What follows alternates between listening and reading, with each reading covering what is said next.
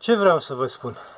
Vreau să vă spun că la o oră de bilanț merită să aveți o grădină. Este foarte bună și o casă, dar casa este o investiție majoră și depinde de fiecare, de buzunărul fiecăruia, de posibilitățile fiecăruia și, bineînțeles, de așteptările pe care le aveți. Nu vă imaginați că la casă vor fi aceleași condiții ca la un apartament din oraș. Pentru că nu, nu le veți avea. Chiar dacă la o casă amenajați o baie, chiar dacă la casă uh, montați o centrală termică, pentru încălzire centralizată condițiile nu vor fi aceleași. Dar este bine la casă. Este bine să ai propria ta bucată de pământ. Și mai ales este foarte bine ca pe această bucată de pământ să cultivi ceva. Să pui viță de vie, să pui pomi. Și bineînțeles să pui legume, să ai grădina ta. Pentru că din 50-60 de fire de roșii poți obține cantități pe care nu le poți consuma într-o familie, să spunem, de patru membri. Eu din 80 de fire de roșii am recoltat în jur de 250 de kilograme. Mai mult decât putem consuma. Am dat roșii la toți prietenii și la vecinii care au venit pe la mine.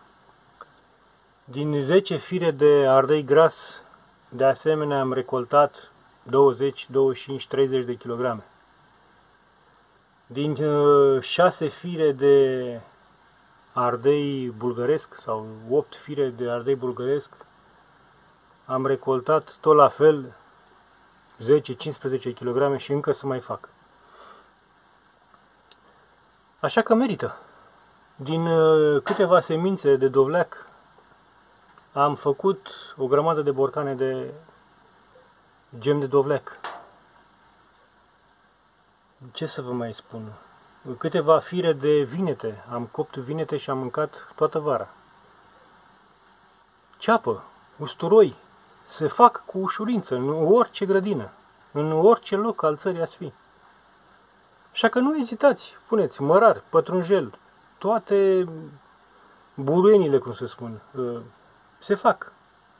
Apă, au nevoie de apă, căldură de la soare, lumină și atenție din partea voastră. Așa că vă îndemn cu convingere. Făceți rost de bucate de pământ și cultivați-l.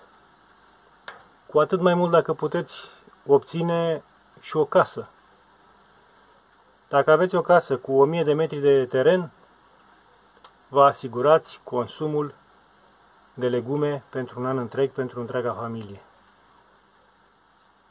Pe lângă acestea, puteți crește câțiva pui de găină, de rață, care cresc ușor prin curte. Iepuri. Curtea se înierbează, iarba cosită poate fi consumată. Așa că vă urez noroc, spor la treabă și să fim sănătoși. Până data viitoare, numai bine vă salut!